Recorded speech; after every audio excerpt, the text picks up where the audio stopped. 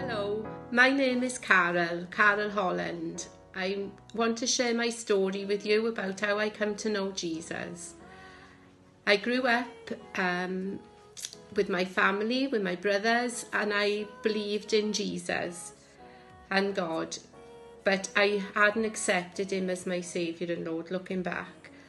I thought I was a Christian, I was christened, I was confirmed, and uh, I was I I thought I was right with the Lord, but I wasn't. Um, I wasn't an atheist. I believed in God, so therefore I was a Christian. But um, looking back now, um, I can see that I wasn't. So I continued. I'd love go like to go to church. Made sure I always went at Easter as I got older, and and Christmas Eve I had to be there. Um, and the carols used to touch my heart. The uh, the songs when we were singing singing the songs about Jesus. But then I would just go back um, down the pubs and, and the clubs. Uh, so that that really basically was how I continued my life. Well then, um, my uh, future husband, he became a Christian. He was seeking the Lord and found him just before we got married. Uh, and we got married then in the January and I come to know Jesus in the February. We, it was difficult being married, uh, getting married and then wanting different things. So Maldwyn used to want to go to church and I would uh, want to go to down the rugby club. So we were pulling different ways. So with the newness of marriage and, and then we wanted other things differently. It was a bit of a struggle.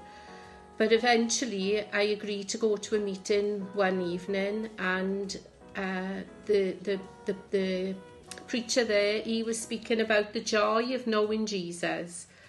And I thought, I need this joy because the church that I had been used to, it, you were afraid even to breathe properly in, in the church. But this time, the people were happy and they were clapping and it, it was so exciting and I responded that night to know Jesus and I accepted him as my Saviour and my Lord. Realised that I was a sinner and that I needed Jesus in my life. And then a few months later then I decided to go through the waters of baptism, um, burying my old life and coming up in the newness of Jesus. Uh, since then, I was um, 37 years ago. Um, I haven't looked back. It was the most joyous thing that I that, that I could have done. He's he's been with me through thick and thin, through um, sad times and happy times, and um, I just want to thank him that he's always been with me and he's always protected me. And um, we've got four lovely children, four girls, and we've got grandchildren, and, and the, the girls, and they all follow and know and serve the Lord. Um, and um, we're just so grateful and praying that our, the, our grandsons will grow up to know the Lord as well.